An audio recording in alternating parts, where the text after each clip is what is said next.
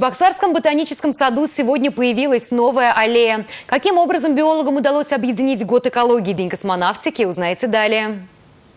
Они были первыми. Так называется мемориальная экспозиция растений. А посвящена она первому отряду советских космонавтов. Список героев, покоривших околоземное пространство, можно увидеть на специальном стенде. Дело в том, что э, первая специальность нашего космонавта, первого космонавта Чувашской республики Николая Андрея Григорьевича Николаева э, э, была посвященной растениям. Он окончил Марпасадский лесной техникум по выращиванию растений. И это э, его специальности он поработал, прежде чем посвятить свое дело космическим полетам.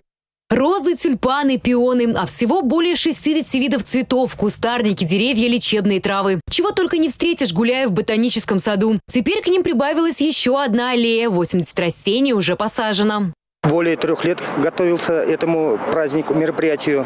Они были первыми. Э, э, мы вместе Михаилом Васильевичем Игнатьевым э, обсуждали очень долго, как его открывать, как она будет смотреться, ну, эта экспозиция. Площадь это где-то у нас будет полтора гектарах.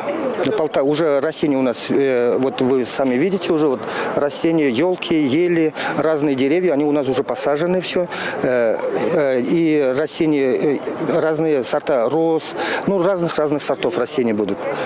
Э, сейчас я вам все не могу сказать, какие именно растения тут у нас будет. Э, мы это уже на, этой, на следующей неделе мы уже будем сажать. А как красиво здесь будет летом, когда все зацветет. Недаром именно ботанический сад – излюбленное место свадебных пар для фотосессий. Юлия Важенина, Анастасия Алангина, Сергей Адушкин. Республика.